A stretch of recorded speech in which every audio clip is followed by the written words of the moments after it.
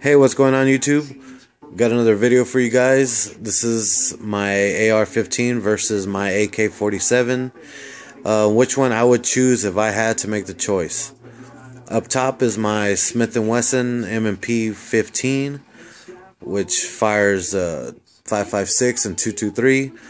Underneath that is my Romanian WASR-10 AK-47, which fires the 7.62 by 39.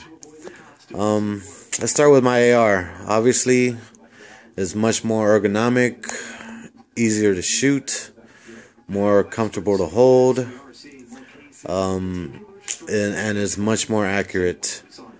Um, the AK, on the other hand, is uh, not as comfortable, is not as accurate, and kicks a lot harder than the AR.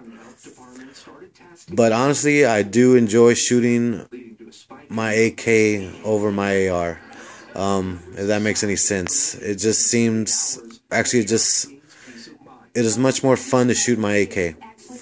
Um, as far as ammunition wise, uh, what I think the AK edges out the AR is the ability to shoot, you know, this cheap steel crap all day long.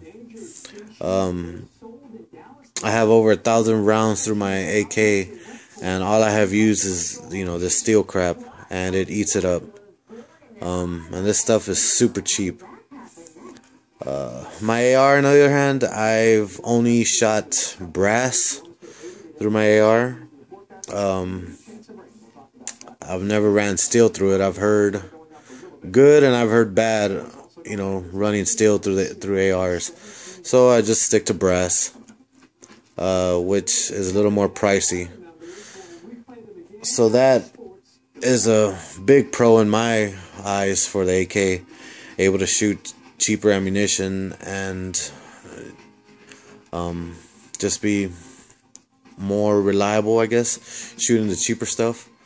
Um, you know, we've all heard the stories. The AKs are just more reliable, durable, uh, more rugged. They could take a beating, and they're just not as picky as the, the AR can be.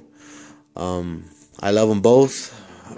I I love my AR and I love my AK, but if I had to choose one uh, over the other, uh, I would have to go with my AK-47. Um, let me know what you guys think. Thanks a lot.